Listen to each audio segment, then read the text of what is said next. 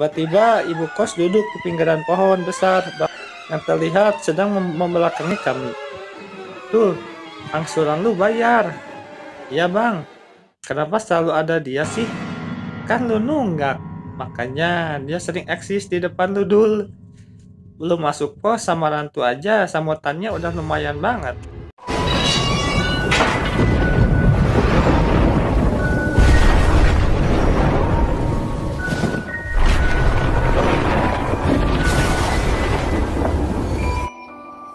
Assalamualaikum warahmatullahi wabarakatuh guys. Salam Hi Oke? Ketemu lagi bareng gue Jody di channel Jurik Misteri Oke? Kali ini gue akan menceritakan sebuah kisah Tentang pendakian gunung Oke? Bagi kalian yang menyukai cerita tentang pendakian gunung ini Bisa mengklik subscribe, share, like, and komen ya biar channel ini makin bermanfaat bagi kita semua oke? Okay? tanpa berlama-lama lagi kita langsung ke ceritanya. Kamu beneran mau muncak ke selamat man? Tanya Ola wanita cantik asal bumi Jawa Teng Tegal Jawa Tengah. Iya nanti kamu ikut ya. Bagusnya Pia Gucci atau Bambangan Purbalingga nih Tanya gue yang sesekali mencari perhatian ke Ola. Kebambangan aja, biar aku aja nanti ke perbalinggannya ya man. Tanya Ola. Ini namanya berenang sambil tenggelam, bukan berenang sambil minum air. Wajar lah, kan gue sama yang Ono kagak jelas maunya kayak gimana. Diajakin balikan, jawabnya terserah. Diajakin temenan, jawabnya gimana lu aja. Semenjak kenal Ola, itu pun privasi banget dari Mela. Gue harus beradaptasi bahasa, di mana Ola sering banget pakai kata aku dan kamu, yang sering gue lebih ke kata gue dan lu. Gue kalau ngomong aku dan kamu itu bawaannya pengen ketawa sendiri, bukannya ngerasa lebay, tapi lebih ke gak pantas banget buat didengerinya. Tapi semua itu gue lakukan hanya untuk Ola, wanita cantik asal bumi Jawa yang sesekali ngomong Jawa ke gue. Tahu sendiri lu, Tegal itu logat Jawanya medok banget. Tapi sebelum itu, perjalanan PDKT ini harus memakai modus pendakian. Dikarenakan Ola ini salah satu wanita yang mempunyai hobi menggapai puncak ketinggian juga. Kenapa gak di rumah aja sih? Kan lebih asik minum kopi ditemenin kamu. Iya, kamu. Aku padamu. Abdul Bayhaki harus gue ajak nih. Siapa tahu dia bisa gue kenalin juga ke tetangga Ola. Biar ada temennya juga gue kalau ada kunjungan ke Tegal. Singkatnya, gue dan Adul memang ada pertemuan tertutup dari keramaian kampung yang dipimpin oleh RT Sabeni. Dul, ikut gue yuk, tanya gue. Ayo bang, siap. Jawab Adul mantap. Demennya dari Sadul itu. Gak pernah nanya mau ke mana, mau ngapain, nanti gimana, dan duitnya mana. Sama dia mah selalu siap, asalkan diongkosin. Ke Tegal, Jawa Tengah, ikut ya? Tanya gue. Buset bang, temen amat ngajakin OTW jauh banget. Gue punya cem-ceman dulu di sana. Sekalian naik gunung selamat kita. Gue mah hayu aja, asal biaya ditang ditanggung oleh panitia. Jawab Adul cengar-cengir. Rencana indah menyapa pikiran gue kala itu. Berkunjung di pemandian air hangat Guci bareng Ola. Jadi hayalan indah yang harus dinyatakan. Tapi ada problem yang bikin gue harus ngulik pikiran gue sendiri. Man, yang bawa tenda kamu aja ya. Tendaku belum dibalikin sama teman aku. Justru sekarang temanku malah muncak lagi ke Sindoro. Terang Ola menginfokan. Lah, gue ada-ada baik. Mana gue gak punya tenda. Duit ongkos perjalanan kan gak mungkin buat gue sewa tenda.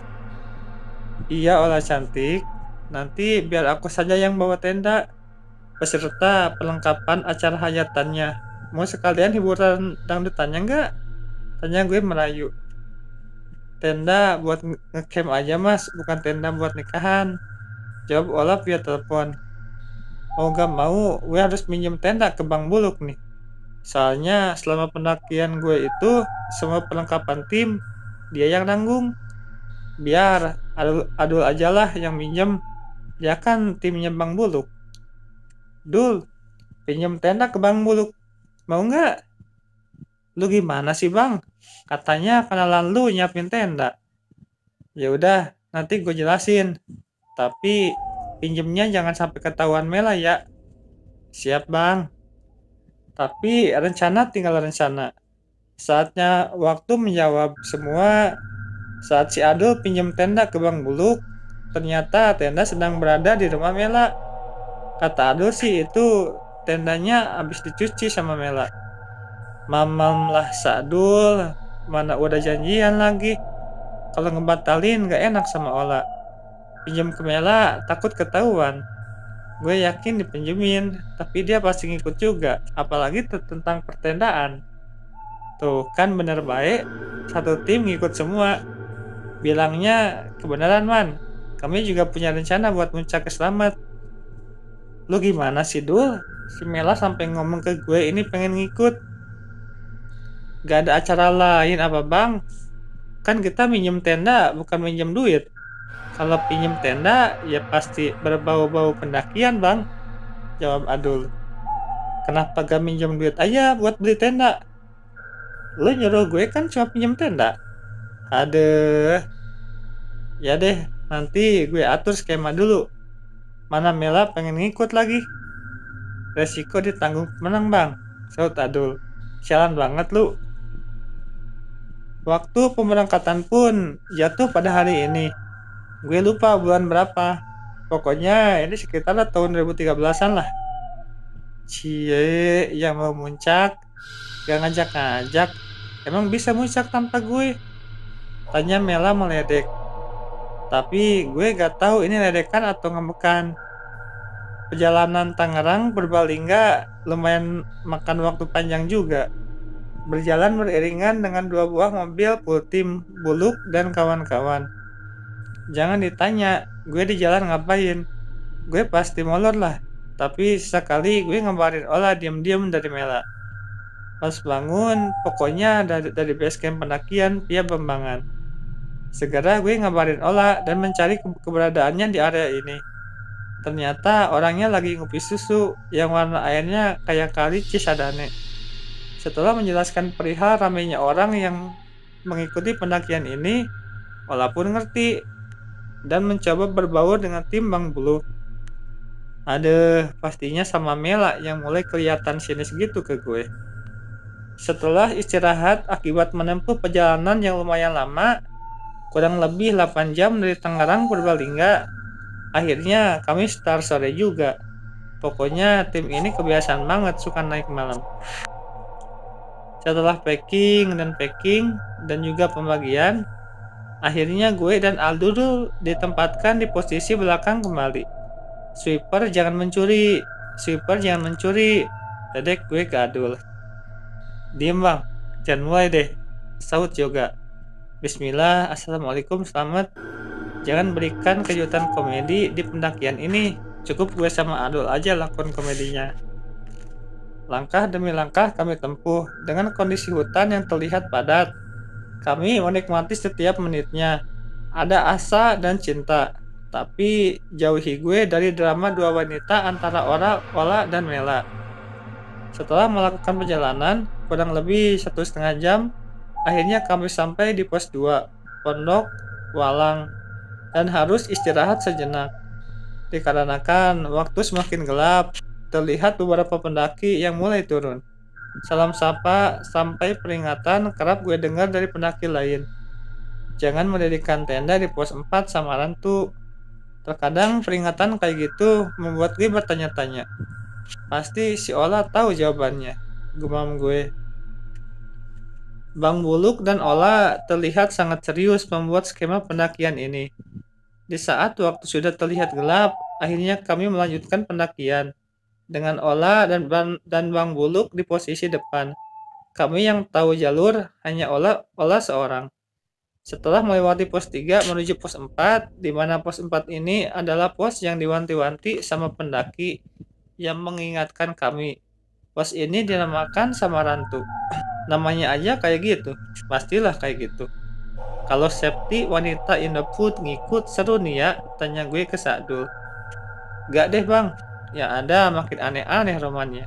Tiba-tiba ibu kos duduk di pinggiran pohon besar yang terlihat sedang mem membelakangi kami. Tuh, angsuran lu bayar. Iya bang, kenapa selalu ada dia sih? Kan lu nunggak, makanya dia sering eksis di depan lu dul. Lu masuk kos sama rantu aja, sambutannya udah lumayan banget. Di saat gue menoleh ke belakang dan memastikan kondisi Adul, Adul Bayhaki itu sangat penuh sama sosok ibu kos ini. Tiba-tiba ada sosok yang bikin gue down banget. Sosok kosong itu ada di belakang Adul. Dul, pokoknya lu harus tetap di belakang. Soalnya ada ibu kos di depan. Ucap gue, iya bang. Lagian, gue gak mau di depan kalau ibu kos ngejedok di situ. Jawab Adul. Padahal gue sengaja ngomong kayak gitu. Dikarenakan di belakang Adul ada sosok pocong. Sosoknya yang paling bikin gue parno banget. Meski sering gue berpas-pasan dengan makhluk tersebut tetap aja gue ngerasa takut. Padahal semua manusia yang beragama Islam pasti bakal dibungkus layaknya pocong dalam keadaan matinya. Asumsi tersebut pun gak mampu menetralkan rasa takut gue. Setiap kali bertemu dengan sosok itu sendiri. Oke, aduh, santai. Farming dulu, farming. Bagi bang, sebat. Minta aduh. Udud adalah cara menetralisir jiwa-jiwa yang rapuh menuju jiwa yang rapi. Si ibu kos pun ketawa dengan cekikannya, yang mana membuat Adul bayi haki selandotan erat di keril yang gue bawa. Gue paham sekarang. Kalau suara ketawanya jauh berarti dia dekat Sebaliknya, kalau suaranya dekat, berarti dia jauh. Bisa aja lu ibu kos, dasar member dunia tipu-tipu. Bang Buluk dan Ola, wanita idaman pun masih berdiri di tempat. Menunggu momen ibu kos cabut kayaknya. Maju aja bang, pinta Tio. Demen gue nih kalau ada orang yang ngomporin buat barbar. Tapi tetap, gue juga tahu dalam hatinya pasti semua ngerasa takut. Slow yuk, kita tunggu dia cabut dulu, saut Bang Buluk. Wala berbicara memakai bahasa Jawa yang terdengar aneh menurut gue. Akhirnya berhasil mengusir ibu kos dari santainya. Seperti bahasa Jawa ngapak. Mela aja yang blasteran Jawa gak ngerti sama bahasanya. Apalagi gue yang ngakunya orang Jawa tapi gak bisa sama sekali ngomong pakai bahasa Jawa. Bikin malu Marsanda aja. Ya udah, ayo lanjut.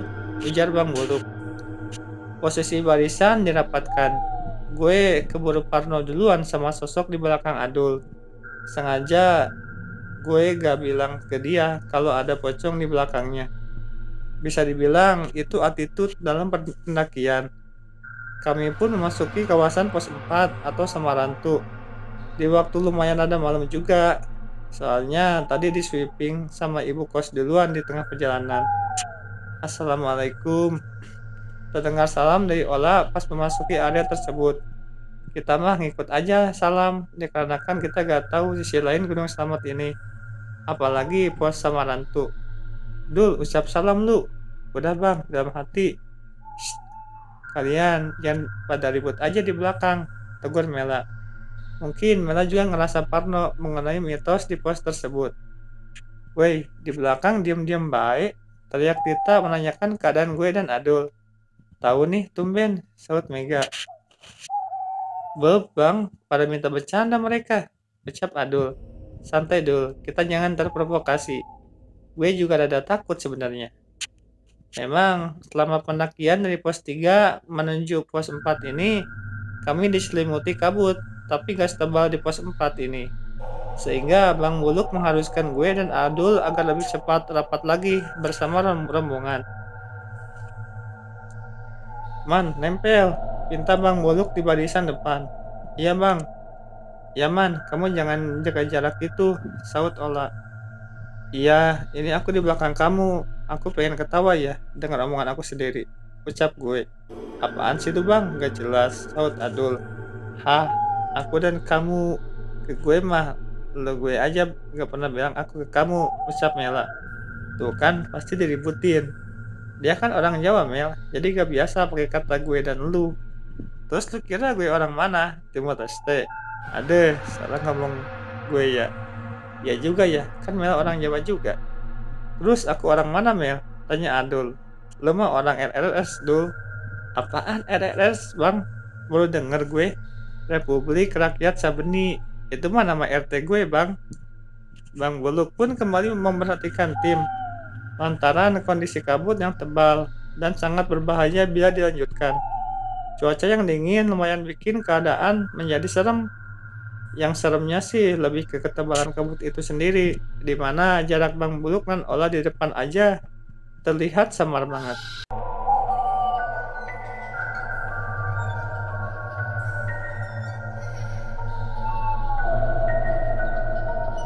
gimana guys ceritanya serem kan lumayan creepy juga kan?